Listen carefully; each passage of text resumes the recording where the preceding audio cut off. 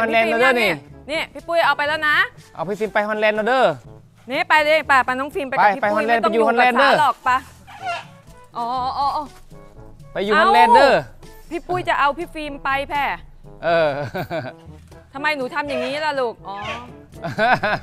เอาไปไม่ได้เหรอ งานพี่ปุ้ย